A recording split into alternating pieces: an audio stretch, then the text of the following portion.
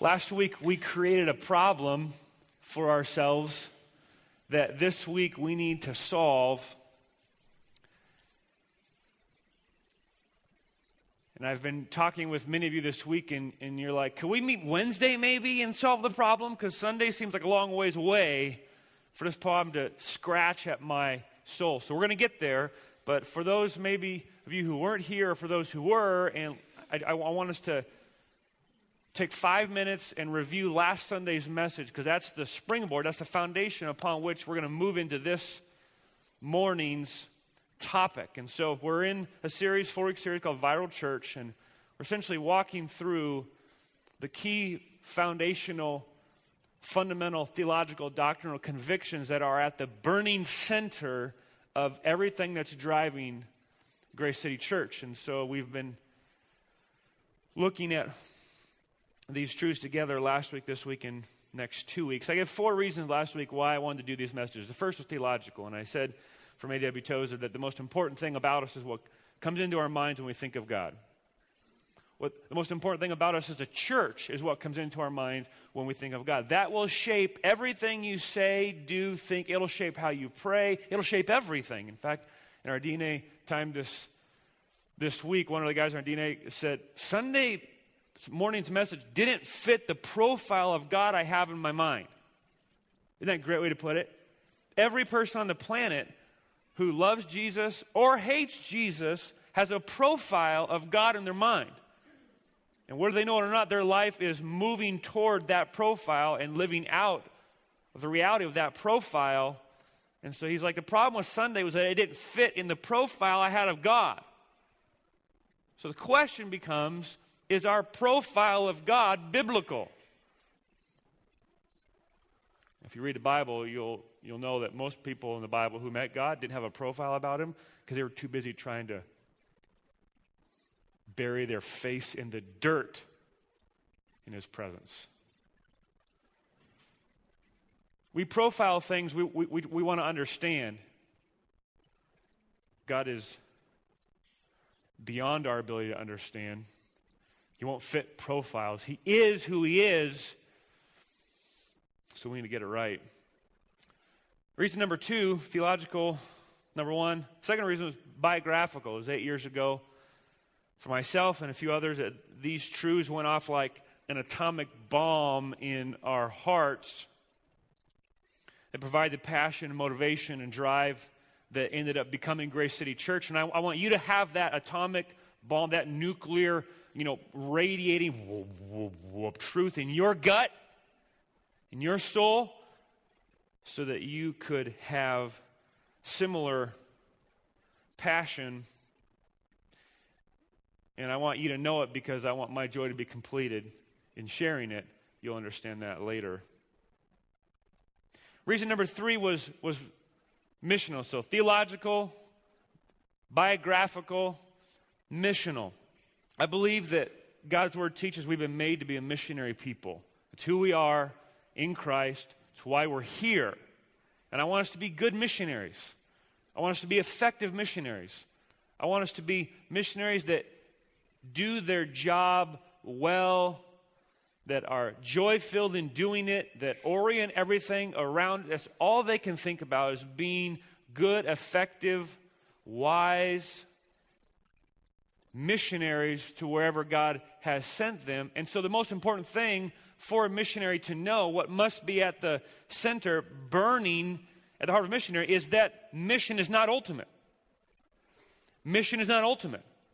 There's something bigger and above mission that is informing it and driving it, and it's not mission itself, it's something bigger. And so, to strike the note that will ring over 2014 that I believe will be the most fruitful year we've seen as a church, and with that will be the most difficult year we've had as a church because advancement always meets resistance.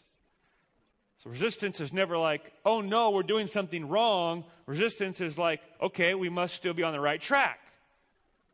But if we're going to hold and we're going to stand and we're going to stay and we're going to last, we need to have this truth and these truths at the bottom of what we do and who we are. Fourth reason was pastoral. Many of you are new to GCC. Many of you are new to the faith. Many of you are new to Jesus. And I want very much for these truths to get set in your heart.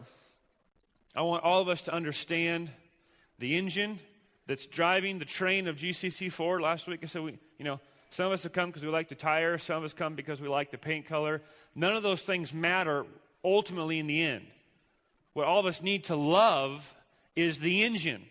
So we're popping the hood, we're looking underneath, we're saying, what is driving this movement, this body of believers, this church? And I'm saying what I said last week, what I'm going to say this week, is what's driving GCC. And I want you to know that. Because if you're here you like the music, or you're here because you like the pack, or you're here because you like something else other than the engine, you won't be here very long.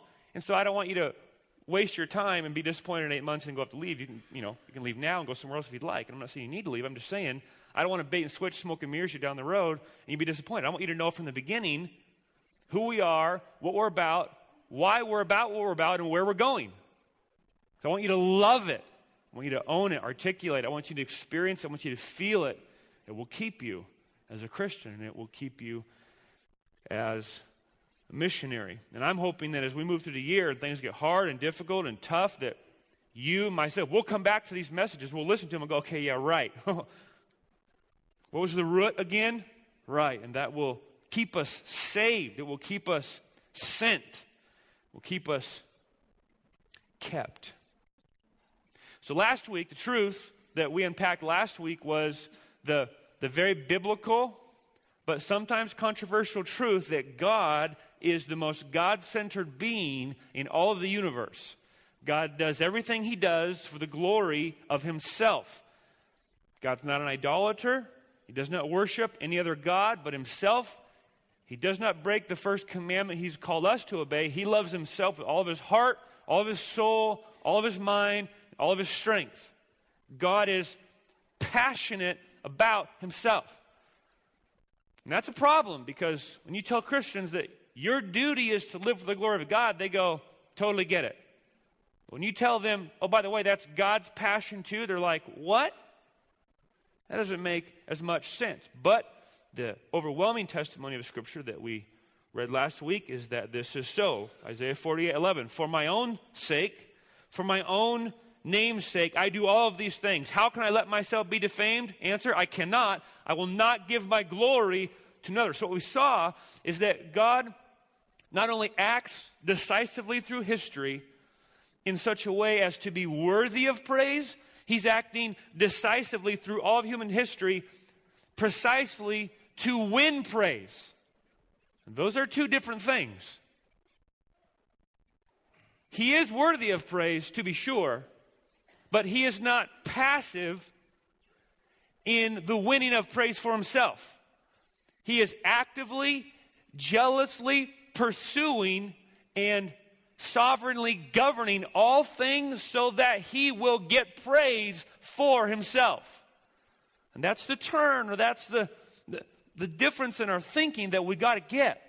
Because we're okay, most of us, thinking about a God who, who, who is so cool he'd be worthy of my praise if I feel like giving it. But I find it rubs us differently when we say, not only is he worthy of praise, but he acts decisively to win it for himself. It's important to say it that way, I think, because it's an antidote for our subtle man centeredness. And this is why we said it's so important to understand this. Because if we are God centered as a people, because we believe that God is man centered, we are man centered. We've got to get that. If we love being God centered because we fundamentally believe that God is fundamentally and ultimately man centered, we are man centered. In other words, we're, we're using God to do for us what we did before we found God, namely ex- exalt ourselves. And so we should question our, our God centeredness if we're not happy with the biblical truth that God is God centered too. That was last week. And that creates a problem. Here's the rub that it gets created when we say God loves himself more than he loves you, and therein lies the foundation from which he can love you unworthy as you are. The reason that creates a problem is, in the words of someone I talked with this week, that doesn't make me feel very important. That doesn't make me feel loved. I'm not sure I want to worship a God who's God centered. It makes me feel like I, like I don't matter. Aha. Now we're moving into the center. The question that we ended last week with was how can the blatant and patently God centered motives of God in all that He does be loving? How can the self exaltation of God be loving? Because at first blush, it makes me feel not very loved. It makes me feel not very important.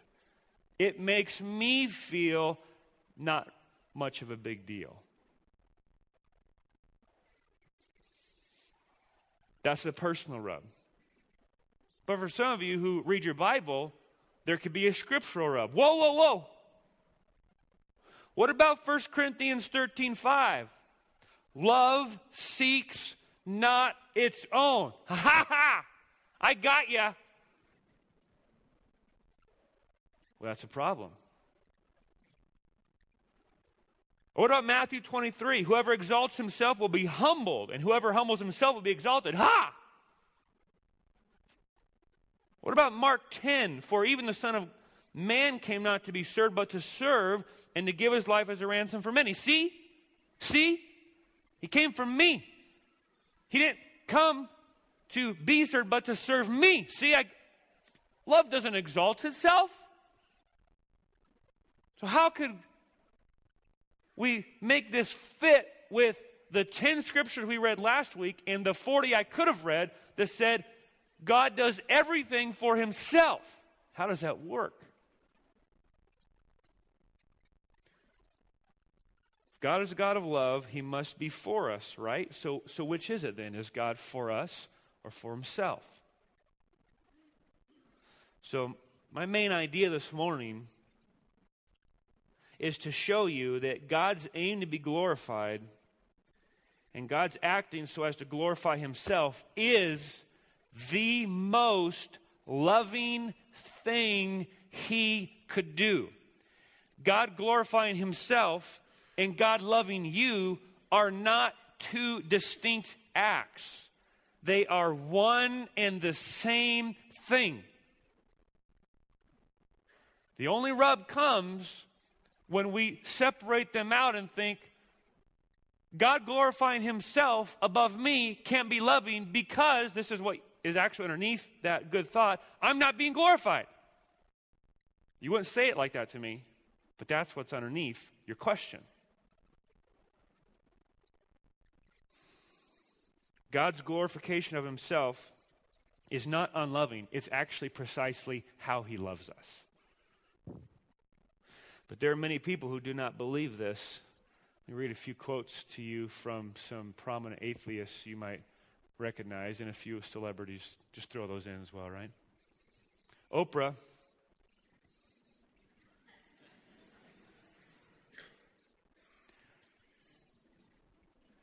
We know what I think about Oprah. I'll, I will not pull out the big stick here. Oprah walked away from Orthodox Christianity when she was about 27. because of the biblical teaching of God being a jealous God. She sat in a church service. She tells a story. She sat in a church service and she heard the, the, the preacher, like me, say, God is jealous for his glory, which is simply quoting passages out of Jeremiah and Ezekiel and Isaiah. I mean, it's not like making it up.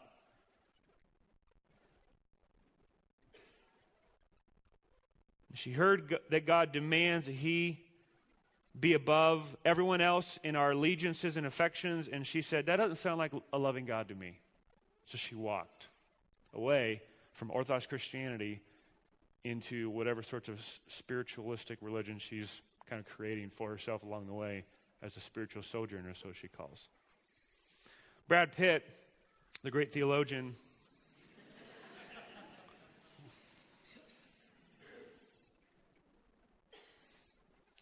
I say it jokingly, but we're all theologians, right?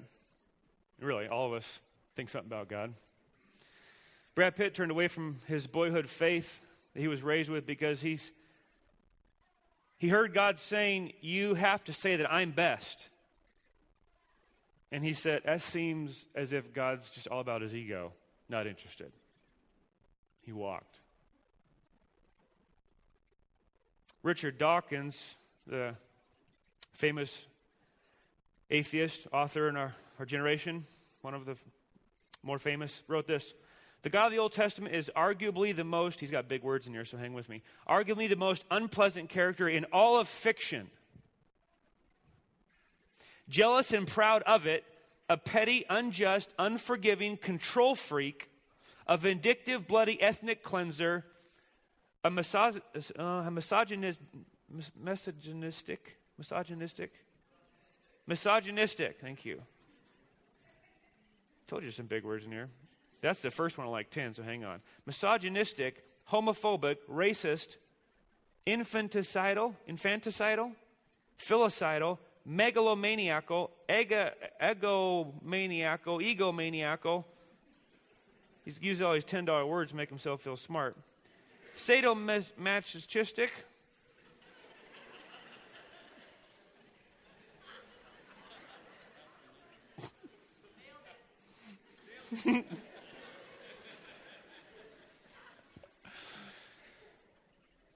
capricious.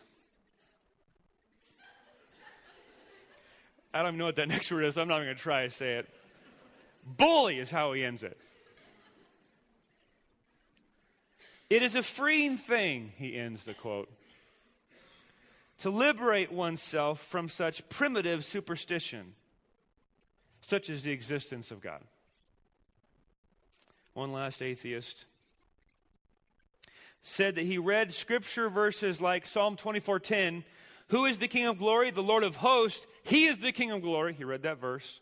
And then he read Psalm 29, "Ascribe to the Lord, O heavenly beings, ascribe to the Lord glory and strength, ascribe to the Lord the glory due his name, worship the Lord in the splendor of holiness." Now, listen to these. And then he read Psalm 62, "Sing the glory of his name, give to him his glorious praise." And he knew that the teaching of Scripture is that God Himself inspired all of Scripture.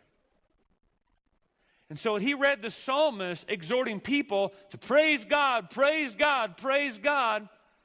He connected the dots that that was God inspiring man to command men through Scripture to praise Himself, praise Himself, praise Himself. God saying, Praise me, praise me, praise me, through the psalmist's exhortation to you to praise God, praise God, praise God. And he said it sounded like an old woman demanding compliments. That's C.S. Lewis who said that before God saved him.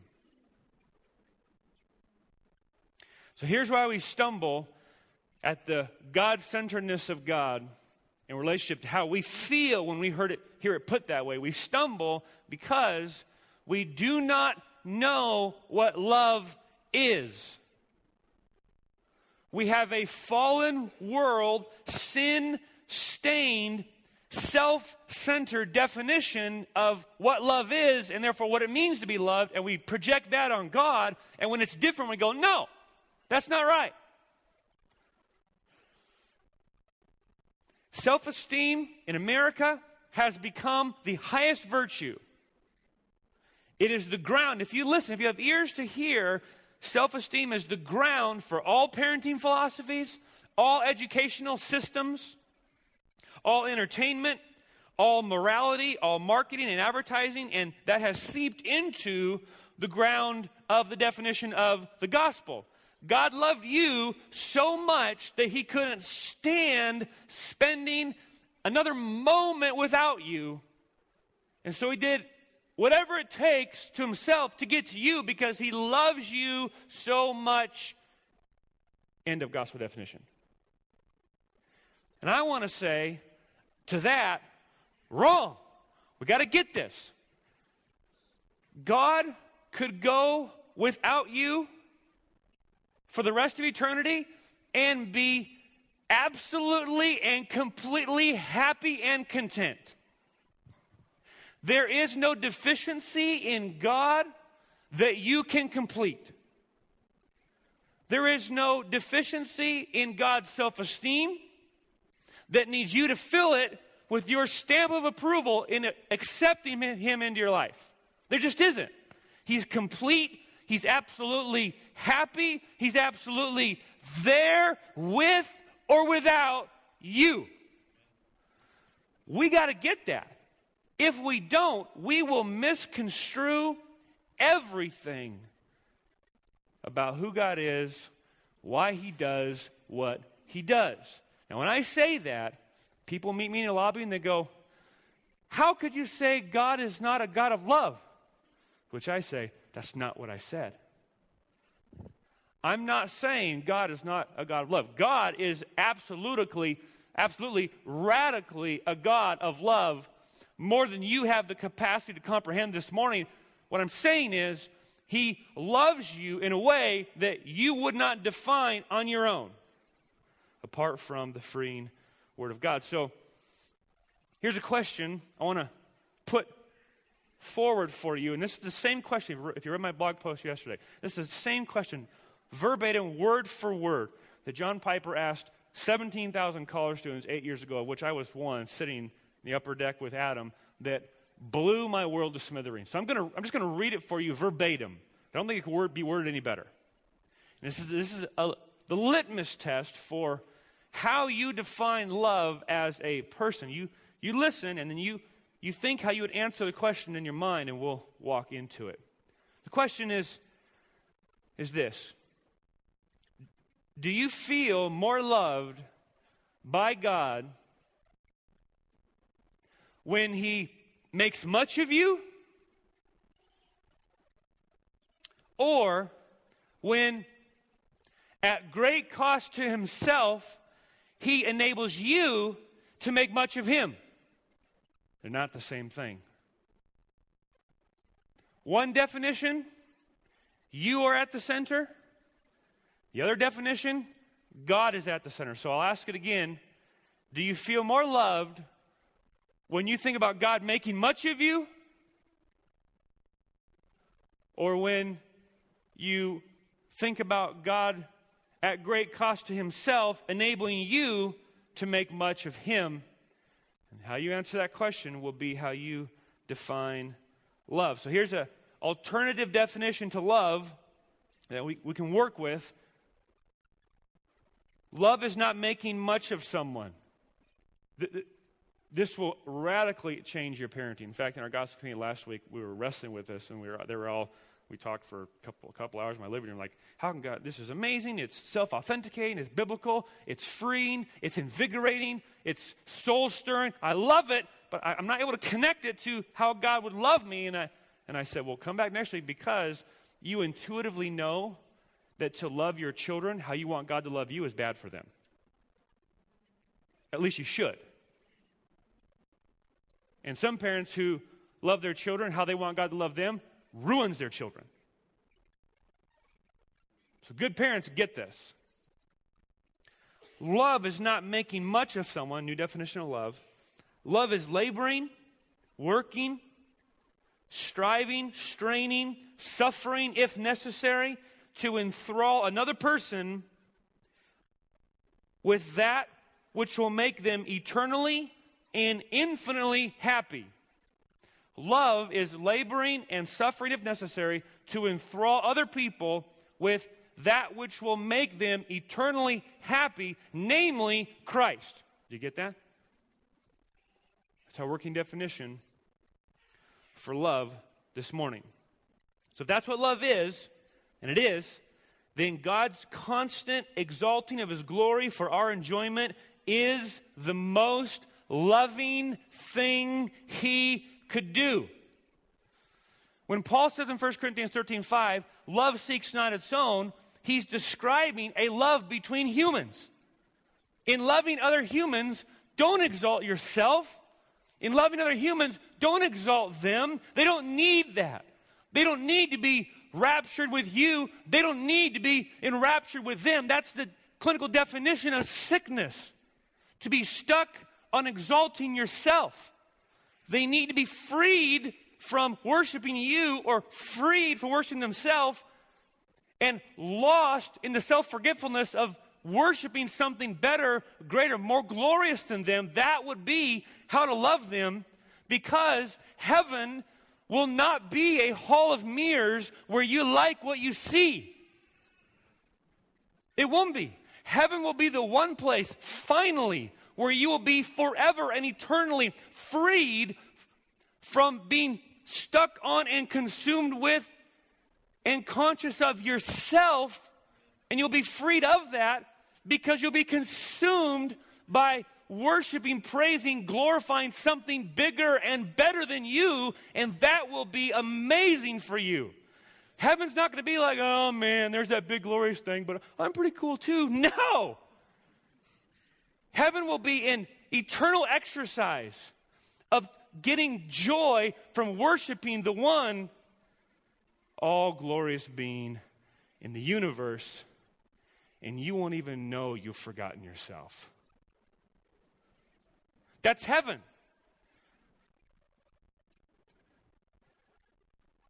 Heaven will not be a hall of mirrors where you're continually trying to talk yourself into liking what you see. Heaven will be where you will finally and eternally be freed from thinking of yourself because you're consumed in the worship of another.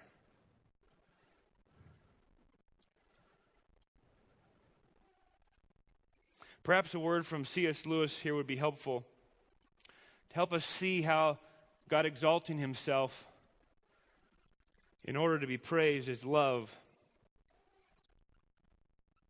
In his book, Reflections on the Psalms, he wrote the following But the most obvious fact about praise, whether of God or anything, strangely escaped me. I thought of it in terms of compliment, approval, or the giving of honor. I had never noticed that all enjoyment spontaneously overflows into praise. You know this is true. I watched it happen all day yesterday.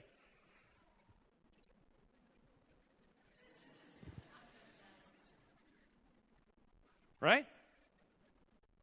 Green and blue. I had never noticed that all enjoyment spontaneously overflows into praise. The world rings with praise. Lovers praising their mistresses, readers their favorite poet, walkers praising the countryside, players their favorite game, praise of weather, wines, dishes, actors, voices, colleges, countries, historical personages, children, flowers, mountains, rare stamps, rare beetles, even sometimes politicians and scholars. My whole more general difficulty about the praise of God depended on my absurdly, absurdly denying to us in regards to the supremely valuable, what we delight to do naturally, what indeed we can't help but doing about everything else we value. I think we delight to be to praise what we enjoy because the praise is huge.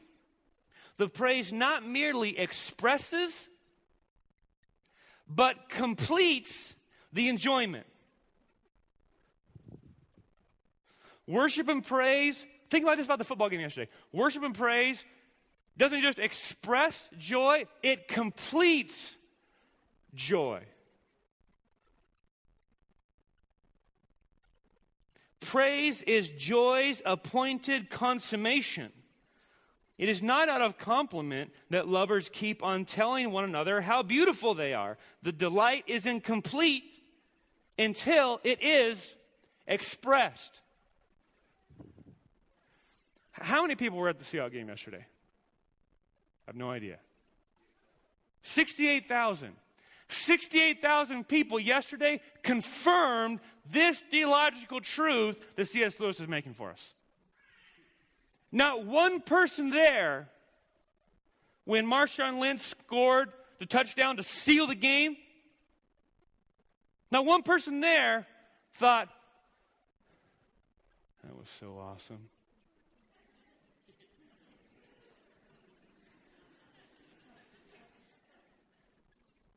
That was a great run.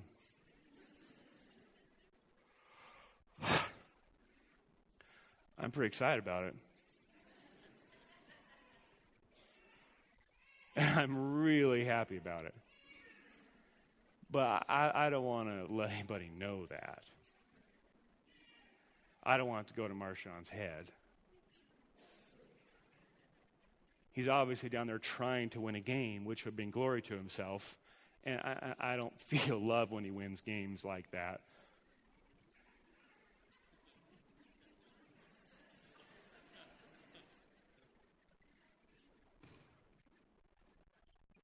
Anybody do that yesterday? Nobody, and there's profoundness in our laughing because we know that's not how it works. You couldn't help it. He swings around the end, takes it to the house, and 68,000 people. No orchestration, no sign on the billboard, cheer now. It's like, whoa, yeah! I'm happy, and that doesn't come to consummation fully until I go, yeah! and I praise Marshawn, man. That's worship right there. I'm on the winning team, and he just won for us, and I'm a Seahawk. Bow, wow, wow, bow down, go Hawks. Woo! I mean, that's happening, right? It would not be loving for the Seattle organization to take an ad out in the, in the Seattle Times and say, for the sake of not giving our team a head, a big head, please do not cheer this week. That'd be stupid. I want to cheer because it makes me, I mean, I'm up in the house in Leavenworth with a few people, and I'm going, yeah, yeah, taking it home, woo! Because I was happier doing that than just staying in my seat and going, oh, that's pretty cool.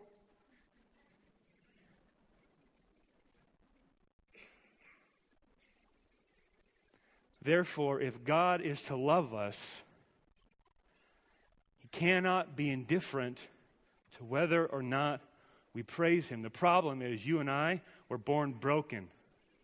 You and I were born broken so that we see someone score a touchdown and we don't get it. We don't cheer like we should. Jesus is winning every day, and we yawn and go, How come he doesn't make it about me?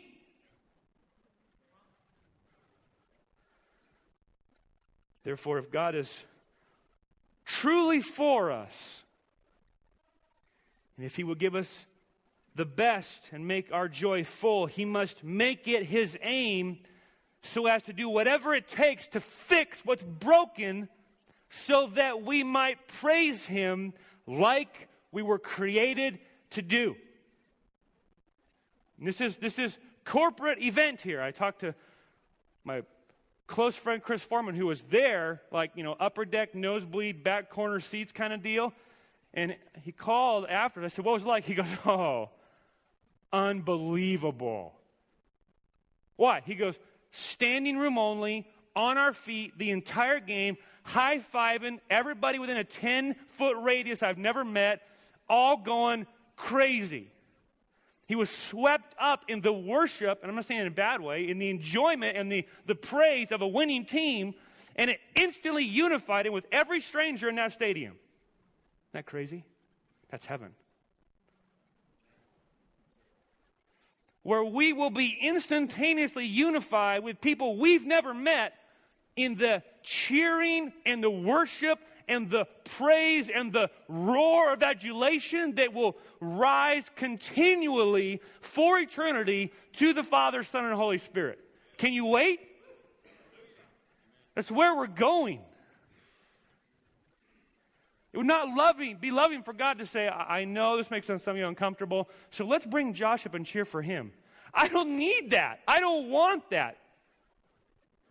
And you don't need it either if you're biblically sane. Because it'd be a lie to worship me because I'm not worthy of it. So put the pieces together. If God were to love you, what must He give you? He must give you what's best for you. The best thing for you in all the universe is God. If He were to give you all health, best job, best spouse, best technology, best vacations, best car, best success in any realm, and withhold from you Himself, He would hate you. And if He gives you Himself and nothing besides, He loves you infinitely. Therefore, we must have God for our enjoyment if God is to love us.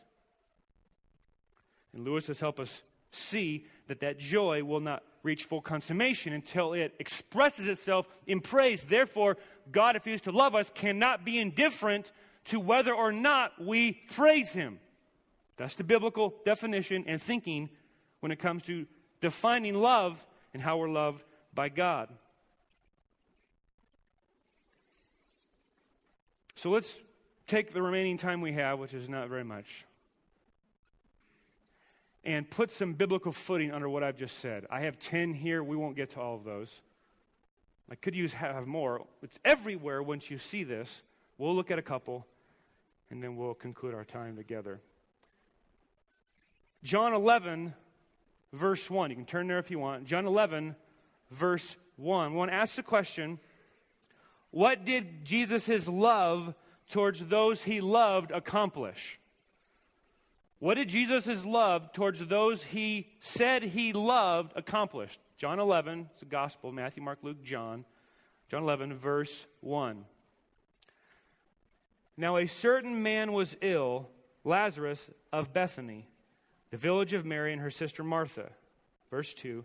It was Mary who anointed the Lord with ointment and wiped his feet with her hair, whose brother Lazarus was ill. So there's an intimate connection here. Jesus, we know, loves Mary and Martha and her brother.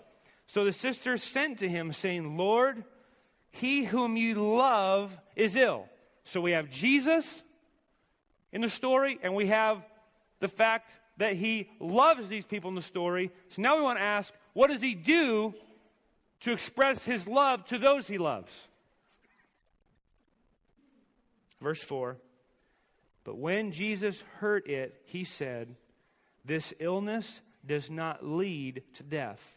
It is for the glory of God, so that the Son of God may be glorified through it. So now we have Jesus, love, and glory, all in one passage. Verse 5. Now, Jesus loved Martha. Don't miss it. Jesus loved Martha and her sisters and Lazarus. So we got Jesus saying, This is going to glorify me, and I love you. Same passage. What does he do? Verse 6 Therefore, un, so therefore, when he heard that Lazarus was ill, he stayed two days longer in the place where he was, and he let him die. Have you ever read it like that? I love you, Mary. I love you, Mara. I love you, Lazarus. I heard the news. I could come and save him, but I'm not because I love you. This illness isn't to death, but to glorify me. So I'm going to stay where I am. I'm going to let him die. The only way that passage makes sense is if we realize it's worth the death of Lazarus to show the glory of God to Lazarus. And it's worth your death, too, if that's what it takes.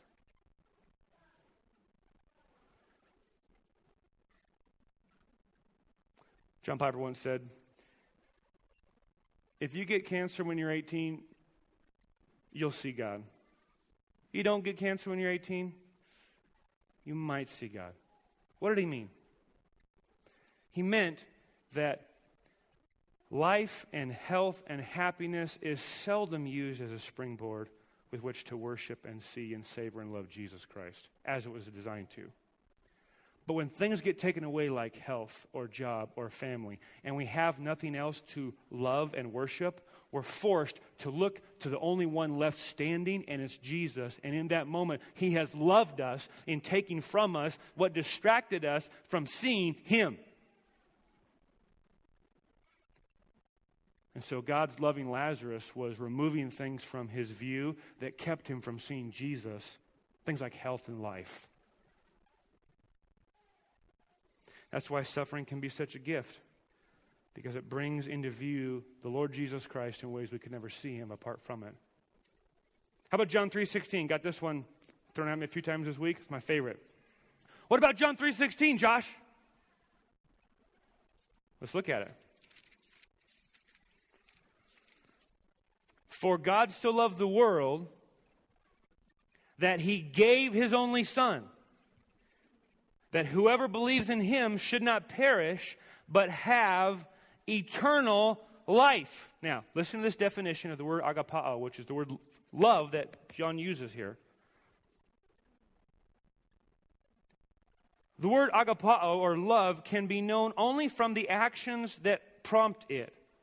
God's love is seen in the gift of his son. This, this is a Greek commentary. This isn't like anybody with an agenda. It's just like, what's what the word means? Obviously, this is not the love of complacency or affection. That is, it is not drawn out or given because of any excellency in its objects. This love isn't being poured out because the ones that are being loved are amazing. Romans 5 8, right? Before we were lovely, God died for us while we were still in our sins, right? It was an exercise of the divine will in a deliberate choice made without assignable cause, save that which lies in the nature of God Himself.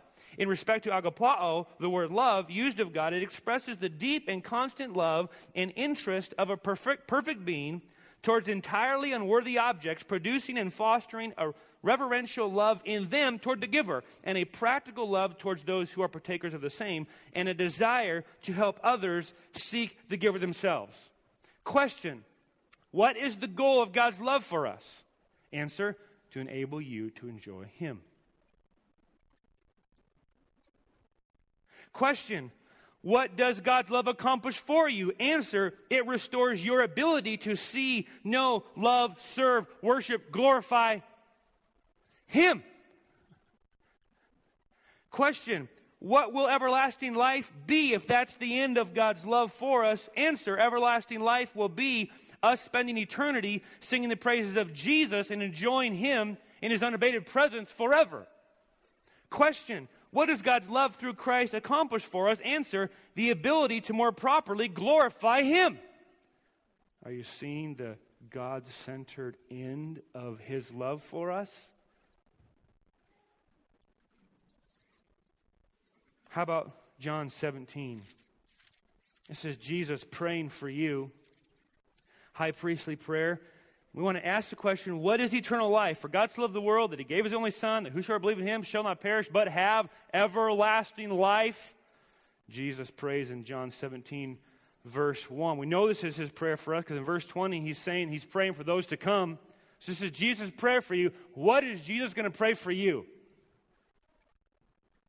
Verse 1. When Jesus had spoken these words, he lifted up his eyes to heaven and he said, Father, the hour has come.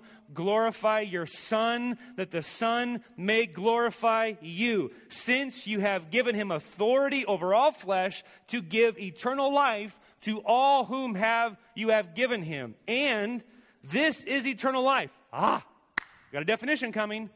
This is eternal life. That they know you, the only true God, and Jesus Christ, whom you have sent. I glorified you on earth, having accomplished the work that you gave me to do, and now, Father, glorify me. Jesus' prayer to the Father for you is that God would glorify him. That can't be love unless it is love. Look at verse 24. Father, I desire that they also, whom you have given me, may be with me where I am to see my glory that you have given me because you love me. before the foundations of the world. Say it again eternal life in heaven will not be a hall of mirrors where you like what you see. It will be the one place where, in self forgetfulness, you are freed finally to do what you were made for, namely be lost in the worship and praise and cheering and roaring and adulation and exaltation of the one being in all the universe to whom actually deserves it. I'm going to skip Psalm 79, 106, and Romans 5. Oh, read Romans 5 today. Man, oh man. I'm going to skip Romans 15. I could go for another hour if we want. Adam's shaking his head. Okay. 2 Corinthians 5. We'll land the plane here. Let's ask the question Is God for me or is God for himself? 2 Corinthians 5, verse 14. For the love of Christ controls us so now we got love and Christ. For the love of Christ, Jesus is loving. He's the fountainhead of love. He is love. He's the definition and the source of love. For the love of Christ controls us because we have concluded this that one has died for all, therefore all have died. Okay? So this is the gospel. This is the end to which the gospel leans towards. If last week was a biblical study on the glory of God, this week could be considered a biblical study of the end to which God brought about the work of the gospel. What is the good news? For the love of Christ controls us because we have concluded this that Jesus died for all, and therefore all have died. Verse 15, and he died for all that those who live might no longer live for themselves, but for him who for their sake died and was raised. it's all right there. You see it? God's for himself, and because he's for himself, he can now be for you. And in being for you, he dies for you and frees and enables you to be freed from yourself to wor- worship and serve him. God, in being for himself, is how he is for us. that they may no longer live for themselves, but for Him. That's the end to which the gospel is given. That you may be freed from living for yourself, which is idolatry, and be enabled to live for Him, which is worship, which means there is a God centered motive and end to which the gospel was given. One last text, and then we'll be done. 1 Peter 3. 1 Peter 3, and you don't need to turn there, it's one verse, I'll read it for you. When we ask ourselves, what is the gospel? We think, okay, the gospel is a it's a plan.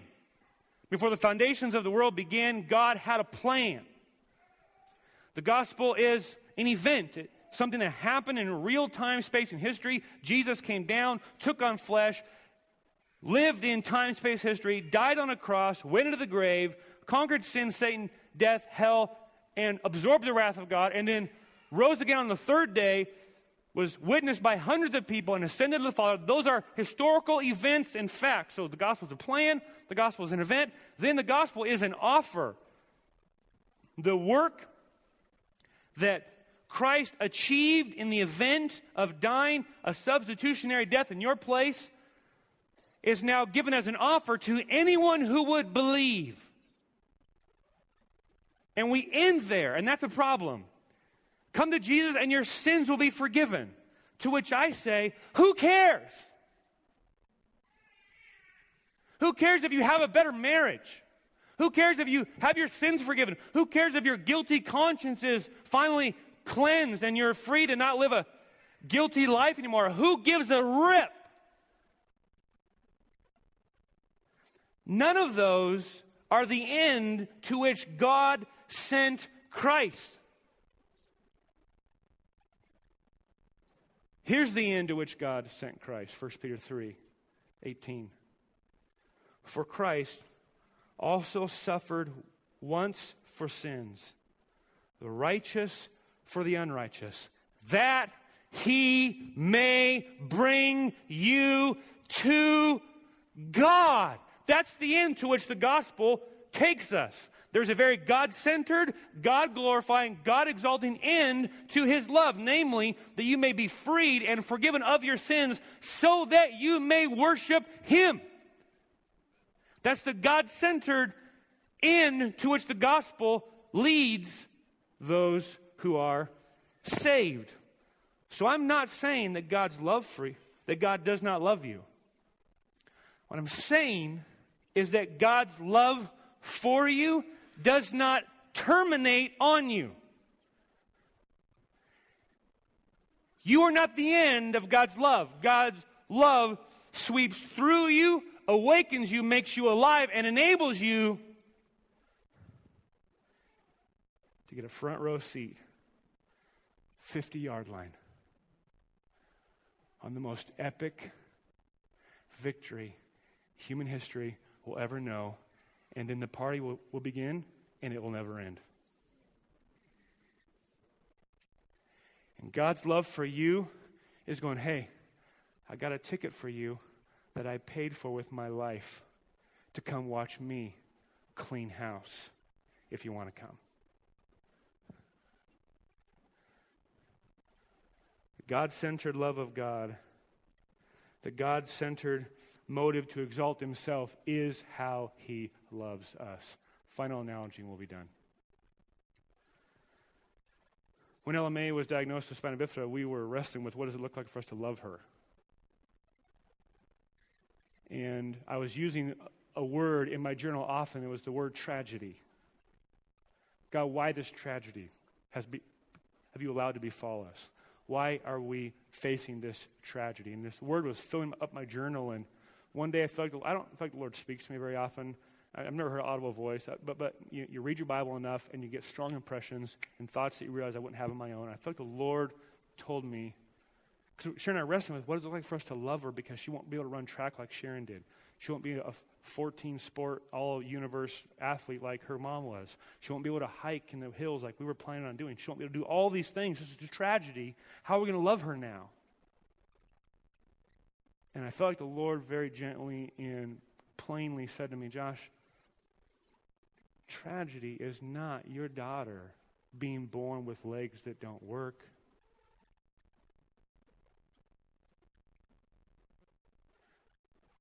Tragedy is your daughter being born with legs that work and walking away from me worshiping something else.